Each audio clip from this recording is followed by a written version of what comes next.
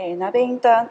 ーナショナルの、えー、山田と申します。よろしくお願いします。えーと、本日は高性能 PC クラスター上で Galaxy を利用するということで、えーとえー、Galaxy の、まあ、土台となる、えーと、計算機のお話をあの含めて今日ご説明したいと思います。えっと、まず簡単に、えっと、私たち鍋インターナショナルについて、まあ、どんなことをしているのかということについてお話しいたします。え続きまして、えーと、PC クラスターなので Galaxy を実際にインストールして運用しようとなった時に、まあ、どんなことが、まあ、どんなことを、ま考える必要が出てくるかといいますか運用のポイントについて、えーといくつかご紹介したいと思います。でそれから、えーと、私たちは、えーとまあ、計算機を扱っていますので、えーと、ギャラクシーを運用するあの動かすためのハードウェアについていくつかあのご紹介させていただきます。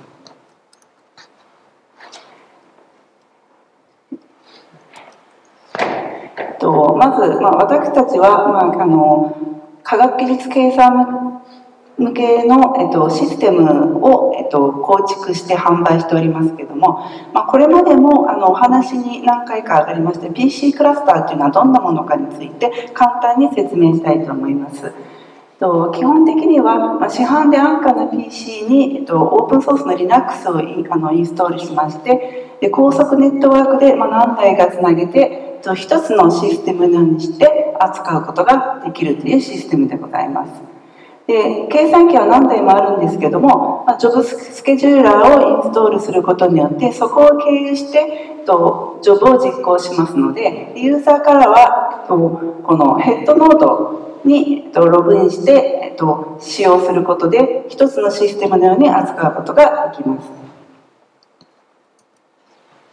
と私たちは、えっと、バイオヒモティクス分野にフォーカスして、えっと、計算機を2000年から出荷しております。それから2007年には次世代シーケンサー向けのシステムを、えっと、として、えっと、販売をしております。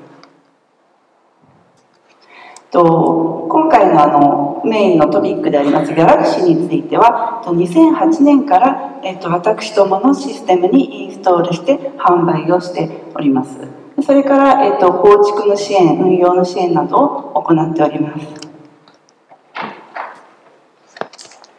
2015年昨年には Galaxy に関するサポートを拡張しました Galaxy エディションをリリースしております。このようにですね最初は PC クラスターのご説明から入りましたけども Galaxy についてもその PC クラスター上にインストールする。それから、えっと、ジョブスケジューラーとかあと OS といったものも含めまして一つの窓口で、えっと、例えばあのお問い合わせいただいた時に一つの窓口であの答えることができるということがあの私どもの特徴でございます。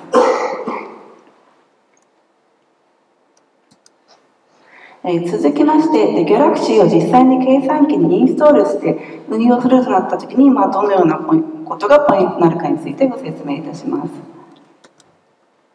まず、えーと、これまでも、えーと、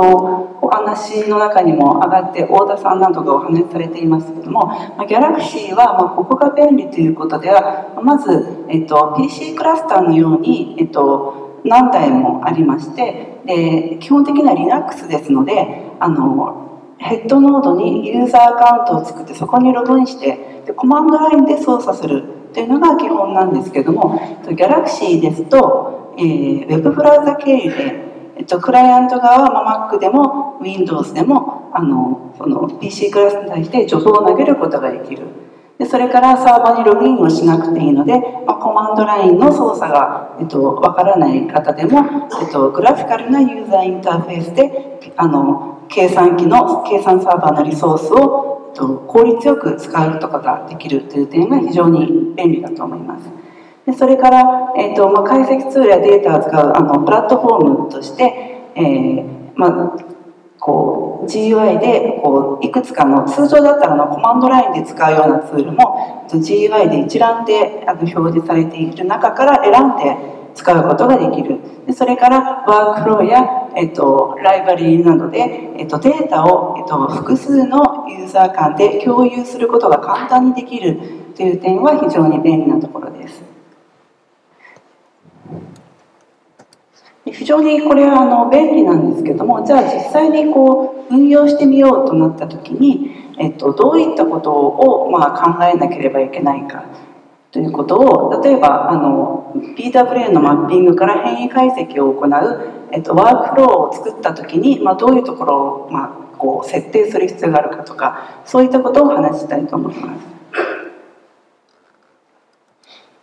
例えば、えーと、PWA については、えーと、レファレンスゲノムを設定しますけども先ほどのハンズオンでは、えーと、ダウンロードしてあの使用していたと思いますけどもこれを例えばあらかじめサーバーの方にインストールしておいてでそれをこうプラダウンメニューであの選ぶようにすることもできますので例えば複数のユーザーでよく使うようなレファレンスがある場合には、まあ、あらかじめ設定しておいた方が便利だろうとなりますと、まあ、これは、えーと、ギャラクシーがあのサーバー側にあの設定をしておく必要も出てきます。でそれから BWA の場合は、えーと、マルチスレッドでの実行ができます。でそれを、えーとまあ、ギャラクシー上から投げたジョブを、まあ、その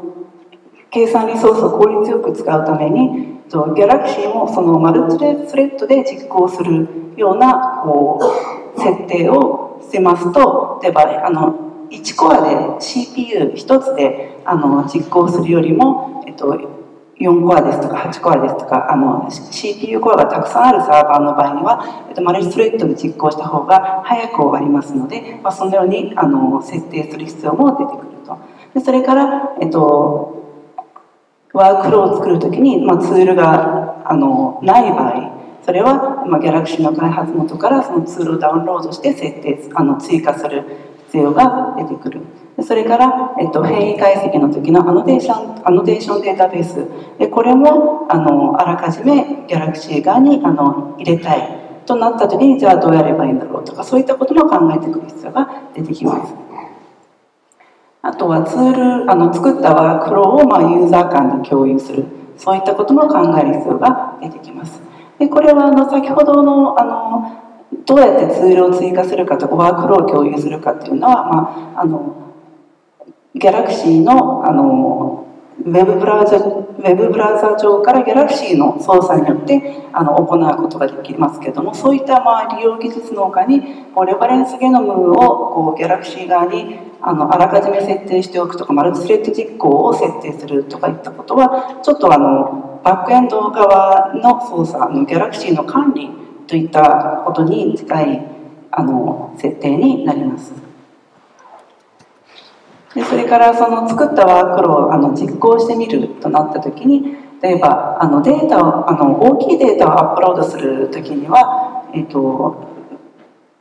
こうウェブブラウザーからアップロードする時はサイズのギャラクシーはサイズの制限がありましてそれよりあの2ギガよりも大きいデータをアップロードする時には違う方法を取る必要が出てきましてそれをじゃあその設定をどうやるのかですとかあるいはこう1人で使う分にはあまり気にしなくていいんだけどもこうユーザーが多くなってきた時に、ジョブが増えてくると。でそういったものはそういった場合にあのちゃんとこうジョブをこうあの吸育するにはどうすればいいかとかあとはギャラクシー自体にあの新しい機能例えば開発元のギャラクシーで新しい機能が出てくる。です。でそういった場合にそれをこうローカルのギャラクシーでも使いたいとなった時にはじゃあそのギャラクシー自体のアップあのアップデートはどうすればいいかとかあとはあのデータが増えてきますと、まあ、ストレージを多くしておかないとちょっとデータがいっぱいになってしまう。あとはこう削除はどうすればいいかとか、まあ、これはあのギャラクシーのあの、えー、そのバックエンド側の設定もちょっとあの必要になってきますので、えっと、こういったことをあの運用する際にはあの考えなければいけないと思います。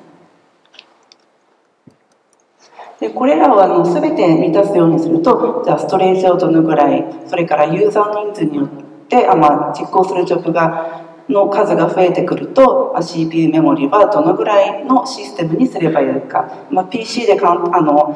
1台の PC でできる範囲なのかあのある程度のシステムが必要なのかとかあとはあのジョブが増えてきた場合に、まあ、ジョブスケジューラーを使うとなりますと、まあ、システムに対して、まあ、そのギャラクシーのバックエンドのところで、まあ、ジョブスケジューラーを、まあ、適切にシステムにあの設定する必要がある。それから必要なレファレンスデータをあらかじめダウンロードしておくといった場合に結構あの数が増えてきますとストレージも多く使うじゃあそあのそれはあのどういうふうに考えればいいかとかあとデータアップロードの方法をあのブラウザからのアップデあのアップロード以外の方法を提供するとなりますと、まあ、それも設定する必要がある。であとはツール追加とか、まあ、ワークフローなどはあのギャラクシーをどう,、まあ、どう使っていくかという、まあ、利用技術ということですね。でこれを、えっと、全てを、まあ、運用にあたって設定するのにまあ、解析業務の片手間に全てをまあ行う。っていうのはまあちょっと大変かもしれない。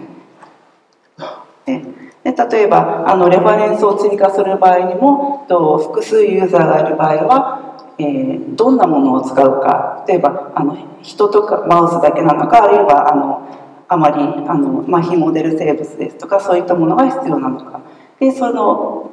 あの使う生物について必要なデータをまあダウンロードあるいはあのツールによってあの、まあ、インデックスの作成が必要であったりあのデータベースを作る必要があったりとかで例えばあの先ほどあの例に挙げました BW BWA の場合ですとインデックスの作成が必要であると。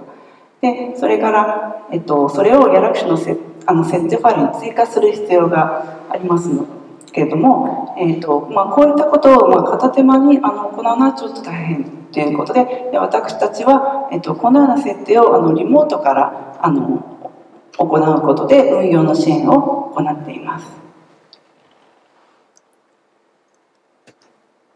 えー、最後になりますけどもあのギャラクシーを動かすためのハードウェアについて、まあ、いくつかご紹介させていただきます。で最初あの冒頭に説明しました、えーと、PC クラスターですね。でこれはあのギャラクシーのジョブもジョブスケジューラーで効率よくリソースを使用することができます。であのこの春にあの CPU は、えっと、E52600 番台の V4 にあのアップデートをしまして、まあ、よりあの解析を効率よく行うことができるでそれからこの PC クラスター以外にも、まあ、1台で、えっと、メモリを多く積むことのできるタイプですとかそれからあのディスクサイドであのあのワークステーションのように使うことのできるタイプもあの扱っております。